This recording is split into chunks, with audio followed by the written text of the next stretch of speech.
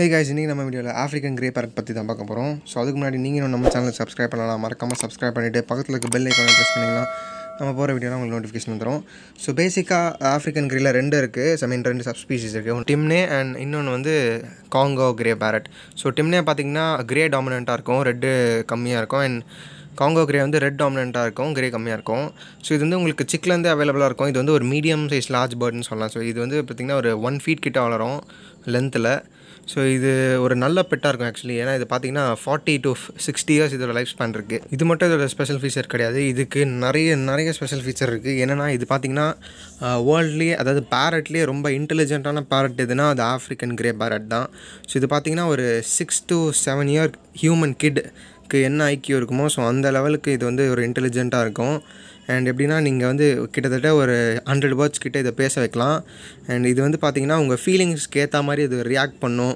உங்கள் கூட பழகும். ரொம்பவே ஈஸியாக மிமிக் பண்ணும். அண்ட் நீங்கள் எதாவது கொஷின் கேட்டிங்கன்னா அதுக்கு வந்து ரிப்பீட் பண்ணாமல் உங்களுக்கு ரெஸ்பாண்ட் பண்ணும். ஸோ இது வந்து ரொம்பவே சோஷியலாக இருக்கக்கூடிய ஒரு அனிமல் ஸோ இதுக்கு மிகப்பெரிய டிஸ்அட்வான்டேஜும் அதான். நீங்கள் இதை வந்து உங்கள் ஃபேமிலியில் ஒருத்தர் மாதிரி அதாவது டெய்லி நீங்கள் அது கூட பேசணும் அது கூட டைம் ஸ்பெண்ட் பண்ணுற மாதிரி இருக்கணும். ஸோ இல்லைனா இதுக்கு வந்து இது வந்து ஈஸியாக டிப்ரெஸ் ஆகிடும் ஸோ டிப்ரெஸ் ஆச்சுன்னா அதோட ஃபெதர்ஸ் எல்லாம் அதுவே பிடுங்கி போட்டுக்கும். ஸோ அது வந்து மிகப்பெரிய பிரச்சனையாகி அது உங்களுக்கு உங்களுடைய கிரே பேரட் சீக்கிரமாக இறக்கிறதுக்கும் வாய்ப்பு இருக்குது ஸோ அது மட்டும்தான் நீங்கள் இதுக்கு வந்து ரொம்ப முக்கியமாக கொடுக்கணும். ஸோ அது வந்து ரொம்ப ஒரு பெரிய விஷயம் தான் ஸோ நீங்கள் வந்து வேலைக்கு போகிறவங்களா இருந்தீங்க. ஸோ ஒரு சரியாக உங்கள் கிளி கிட்டவங்களால் உங்கள் கிளி கூட உங்களால் டைம் ஸ்பெண்ட் பண்ண முடியாதுன்னா கண்டிப்பாக இதை நீங்கள் சூஸ் பண்ணக்கூடாது. ஸோ இது வந்து பார்த்திங்கன்னா ஒரு ஃபேமிலியோடு இருக்க தான் இது லைக் பண்ணும். ஆர் ஈவன் ஒருத்தர் இருந்தால் கூட ஓகே தான். ஸோ ஃபேமிலினா நிறைய பேர் இருக்கணும்னு இல்லை. ஒருத்தர் இருந்தாலும் ஓகே தான். பட் ஆனால் அந்த ஒருத்தர் வந்து இந்த பேரட்டுக்கு கம்பெனி கொடுக்குற மாதிரி இருக்கணும். So most of the time இந்த பேரட் கூடவே நீங்கள் டைம் ஸ்பெண்ட் பண்ணுற மாதிரி இருக்கணும். அண்ட் இது வந்து மினிமமாக ஒரு forty years to sixty years life span இருக்குது ஸோ இந்த டைமுக்கு நீங்கள் வந்து ஃபுல்லாக நீங்கள் அது கூடவே இருக்கிற மாதிரி இருக்கணும். ஸோ ஒரு ஆஃப்ரிக்கன் கிரே பேரட்டை சூஸ் பண்ணுறது ஒரு லைஃப் டைம் கமிட்மெண்ட்டாக இருக்கும். பிகாஸ் இது வந்து உங்கள் லைஃப் டைம் ஃபுல்லாக ஈஸியாகவே உங்கள் கூடவே இருந்துடும் இதோட ஃபீடிங் பார்த்தீங்கன்னா இது வந்து மோஸ்ட் சீட்ஸு இதுக்குன்னு பெல்லட்ஸும் இருக்குது ஸோ கால்சியம் மினரல் பெல்லட்ஸ்லாம் இருக்குது ஸோ இதுக்கு விட்டமின் டிஃபிஷியன்சிலாம் வரும். அதுக்கு நீங்கள் இந்த பெல்லட்ஸ்லாம் கொடுத்தீங்கன்னா அதுக்கு எதுவும் ப்ரா ப்ராப்ளம் வராது. ஆனால் நீங்கள் உங்கள் ஃபுட்லேயே கொடுக்கலாம். கீரை முளைக்கட்டின பயிர் அந்த மாதிரி ஃப்ரூட்ஸ் வெரைட்டிலாம் நீங்கள் கொடுக்கலாம். பனானா ஆப்பிள் நீங்கள் என்ன சாப்பிட்றீங்களோ அந்த ஃப்ரூட்ஸ்க்குலாம் கொடுக்கலாம். ஸோ அப்போ இதுக்கு தேவையான விட்டமின்ஸ் எல்லாமே கிடச்சிரும். இதுக்கு அந்த மாதிரி பிளாட்ஃபார்ம்லேயும் இருக்குது பட் நீங்கள் கால்சியம் பிளாக்ஸும் கொடுக்குற மாதிரி இருக்கும். ஸோ மோஸ்ட் பேர்ட்ஸ் மாதிரி தான் ஜெண்டர் ஐடென்டிஃபிகேஷன் பொறுத்த வரைக்கும் இதுக்கு வந்து மேலை விட ஃபீமேலுக்கு கழுத்து கொஞ்சம் நீட்டாக இருக்கும்.